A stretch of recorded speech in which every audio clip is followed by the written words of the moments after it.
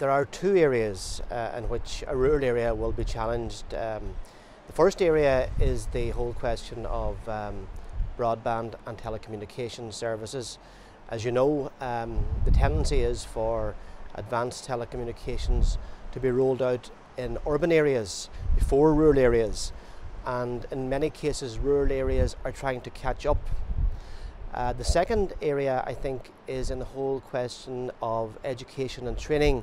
It is simpler and easier, I think, to familiarise citizens with uh, public services uh, in an urban area. There's more effort required to do that in a rural area.